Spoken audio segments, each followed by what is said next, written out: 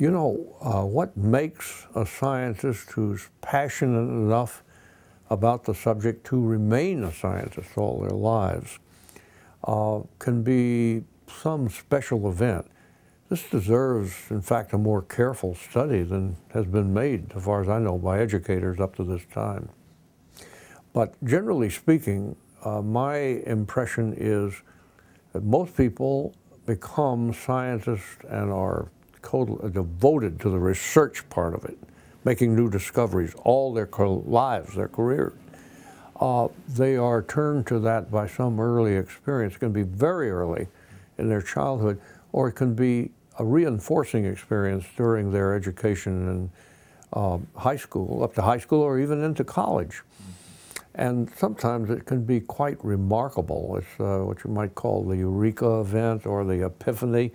Um, I remember one famous molecular biologist who was made his career learning how to put DNA molecules together. He was one of the pioneers in it. Confessed to me that really he got into this because when he was a boy, uh, someone gave him an erector set.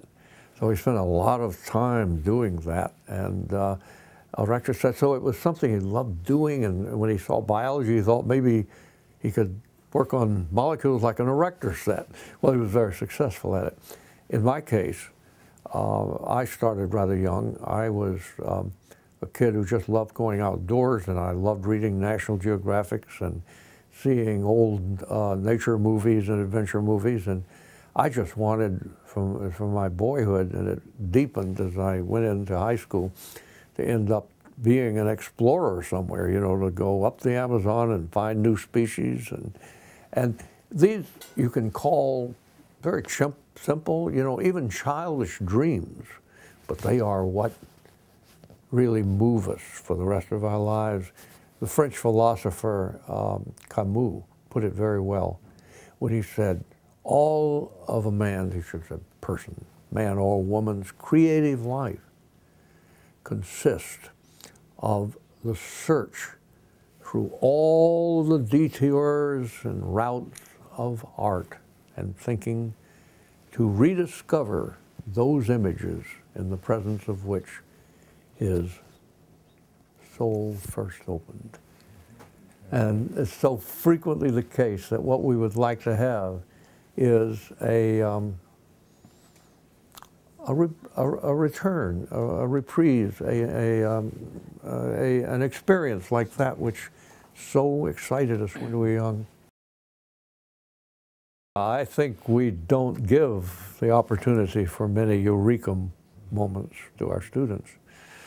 Uh, there are gifted teachers. I think there are certainly in your school uh, because you've developed uh, a, an approach and then attracted the kind of outstanding teachers to to achieve it.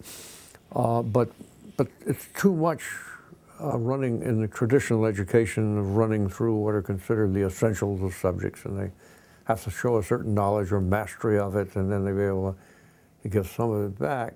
Whereas the best way to teaching, to teach, is to have students uh, to encourage their eureka moments, to bring them close enough to the way scientists actually work and experience nature and process that excited them when they were very young, often in a very simple way, creating a lasting passion for it and I believe that we can teach students in a manner now in which they are engaged in the discovery process.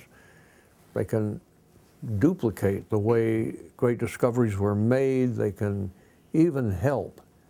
As for example, I know you've done in the case of uh, biodiversity of San Diego or the area, sure. actually go out and make original discoveries that are scientific discoveries at the very least now, with the new Encyclopedia of Life, which is accumulating all knowledge about all species, it's possible for a beginning student to actually go out and find a, a, kind of a snake somewhere, or a snail, or a fish, and, and in a place where it hadn't been discovered before, and adding to the knowledge about the occurrence of that species, the geographic location and, and the environment where it was founded. And by golly, that can be vetted by an expert, and that student, right from the beginning, has made an important discovery. And I can well imagine at your high school, for example, high tech high school, the student having done that much then is encouraged to go on. Hey, pick up. Why don't you do a broader scientific knowledge uh, uh, study of this? And or, or, why don't you talk to the to the uh, to your fellow science students about just exactly what you're doing here? Okay. okay. And that duplicates the experience of real scholarship, of real scientific studies as we do it all our lives. I uh, was in despair. I've been in despair a lot, you know, about public awareness of the living environment and conservation. And um, so uh, in the early 80s, 1980s, um, 25 years ago, uh, I said, oh, well, now, there are two things that I've been very interested in and done science in. One is human nature and human instinct, you know, and what it is that humans want and care about, especially with the environment, right? But the other thing I was been so interested in is the disappearance of so much of variety of life.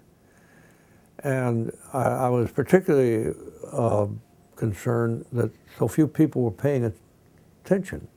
There's still too many, few people paying attention, you know, to the extinction of species and ecosystems. And I said, why is it the only people care uh, who care about it are just a small number of environmental people and scientists about the living environment? And then I said, well, we all love it. we all love all this life.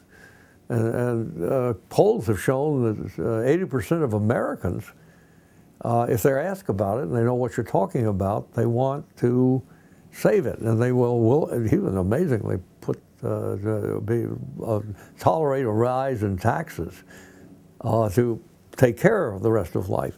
That's amazing in the United States. And I said, Let's, how can we put these things together? Well, why not introduce the love of life, biophilia, I called it, to um, uh, put it in as a, a, a science, you know, a study, and call attention to it as something that's very real and one more reason to uh, try to save the rest of life. Up to that time, we'd been mainly saying things like, well, you know, we depend on it for our water supply and we depend on it for new medicines and so on.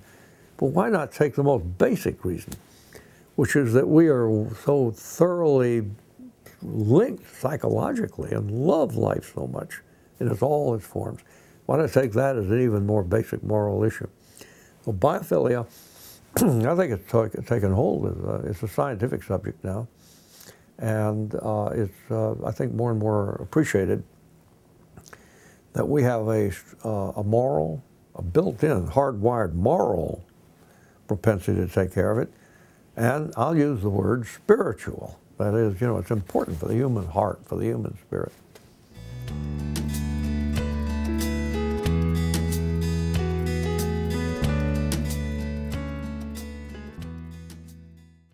For more information, visit hightechhigh.org.